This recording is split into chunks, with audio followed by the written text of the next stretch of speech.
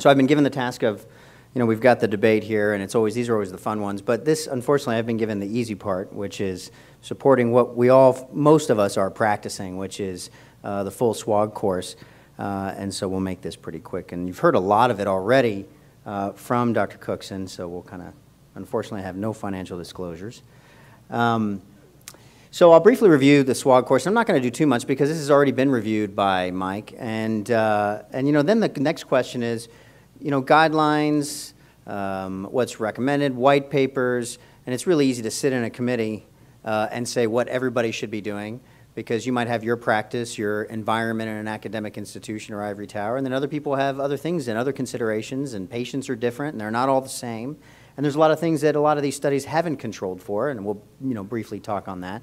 So I think knowing what really happens is another issue, right? What really is going on uh, for all of these patients and their ability to get back to the office and things like that.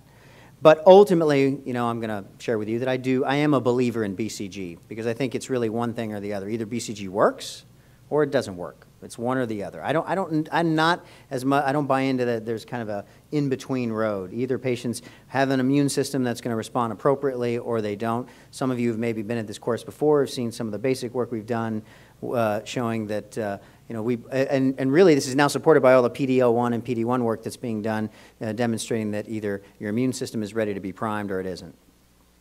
So the classic uh, you know, SWOG study that was, uh, you know, published in, I think it was in 2000, uh, that was headed up by, you know, a large group of well-known bladder cancer experts, and in, in, particular Don Lamm, I don't know if he's here today, he often comes to this meeting, uh, was the Connaught strain. And the bottom line was you, you got induction BCG, and then you had it at three, and, and the induction was once a week for six weeks. Uh, and then you had once a week for three weeks at 3, 6, 12, 18, 24, 30, and 36 months and it's once a week for three weeks. And, you know, there are variations on that because ultimately what you're getting is essentially three, three years, every three months for the first roughly first year, and then every six months for the remaining, you know, two years of kind of stimulating that immune system again, kind of revaccinating, if you will.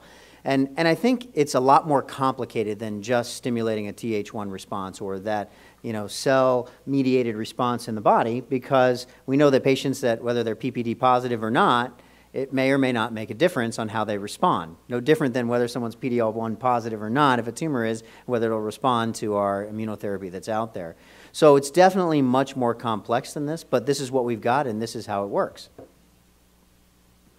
So why do we recommend it? And really it comes down to this, and that is that in just about every randomized or retrospective study that is out there, maintenance gives you a significantly decreased uh, risk of recurrence. And the original study demonstrated almost, you know, half the recurrence rates uh, when you, uh, as far as recurrence-free survival, you know, it was 76 months uh, with, when you were on maintenance, but it was only 35 months or 36 months when uh, you had no maintenance. So it's really hard to argue with that. Now, how could you argue with it? They use the Connaught strain. It's really not available here in the U.S. I think everybody uses Tice. Right now, there's a trial, the uh, Tokyo trial, which is the SWOG S, uh, S1602, looking at trying to come up with some other strains for us to potentially use, which is the Tokyo, I think it's 172 strain, uh, one arm compared to BCG, standard Tice BCG, uh, versus the Tokyo strain with an actual uh, vaccination 21 days prior to getting it, so that we can have uh, other options. We've all lived in that world of you know, BCG uh, not being available to us or to our patients and having to, um, you know, essentially strategize who's going to receive it. And that's when we all cut back on maintenance, you might remember. I'm sure all of us have encountered that years ago. Um, so the one thing that wasn't determined by this trial was did it really change significantly the risk of going on to cystectomy or getting radiation or some sort of systemic therapy? And, and that wasn't really measurable. I don't know that the trial was necessarily uh, defined, designed well for that. And people who argue against maintenance or using maintenance to this degree um, would say that the overall survival was the same and in the two groups, roughly a difference of 5 to 8%. Nothing all that significant. What, what else, and what do I use, I'll tell you here in a second, but what else are the other issues with this trial? Well, there's a lot of factors, even Dr. Cookson has shown you. How well you resect the patient originally is going to impact how well uh, the patient is going to do from BCG. You, you can't just leave them full of tumor and give them BCG. It's not going to work. I mean, you effectively have to have a little bit of a raw surface after the resection. So you want to do it at about three weeks know, no, no later than a month to, to six weeks because otherwise you might have new tumors and you need to re-resect. Gross tumor doesn't respond to BCG, okay? Um, and the other issue is, so these trials didn't control for the TURBT and the, and the quality or the effectiveness of it. And also, uh, they didn't control necessarily for how the vaccine was given, how many interruptions there were. You know, patients come in, they have a UA that's positive, then they get pushed off, or they might have hematuria. All of these things that are very challenging to control for in any trial.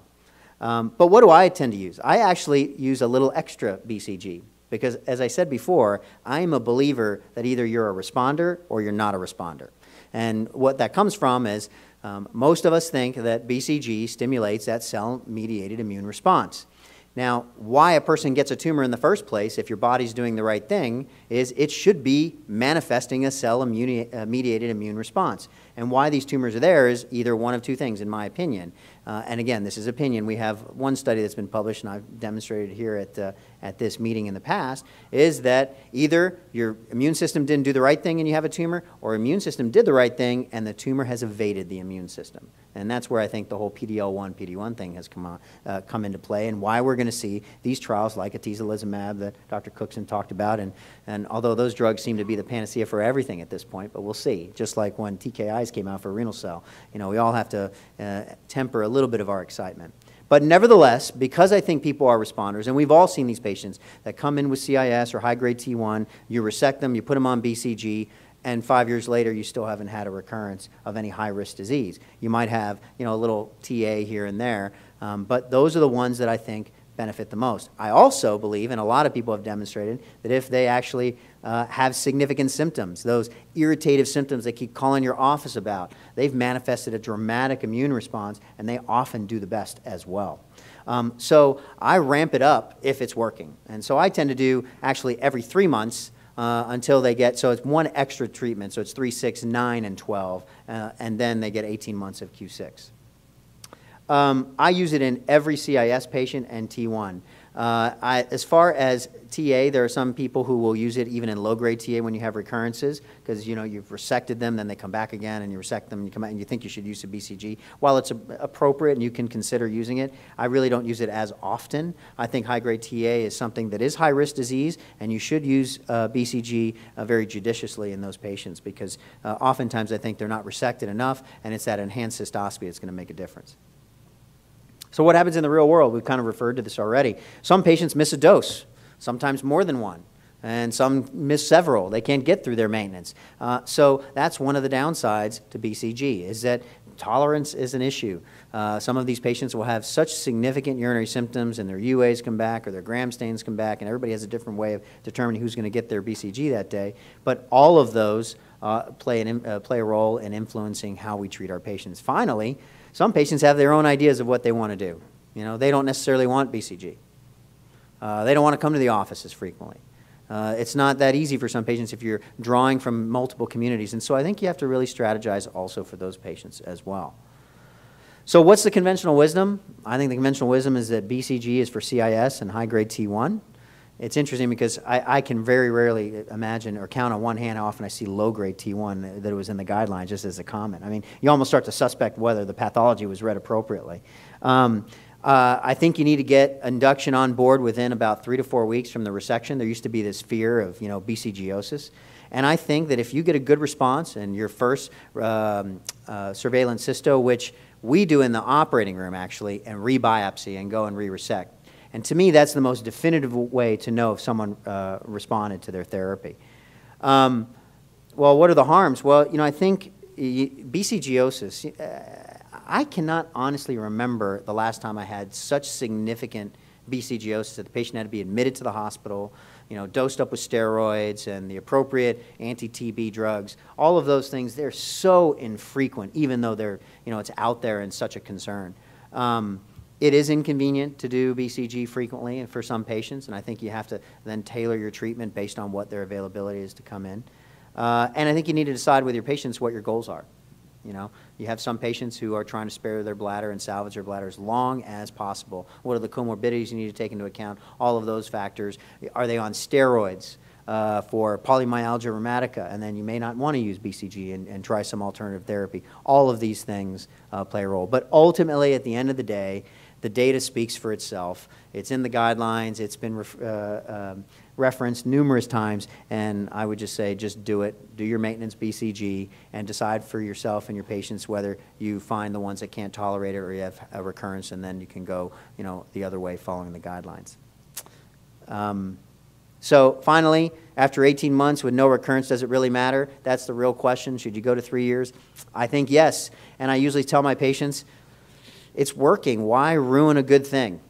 Uh, you know, we can sit here and say, question whether we shouldn't, but if they're tolerating it well, all they're going to get is about three or four more treatments. Uh, you might as well finish it up. Does it really decrease recurrences? Yes. Does it matter if they have symptoms? I say yes, and then you should give them even more because I think they're having a great response. You just got to find a way to make that happen.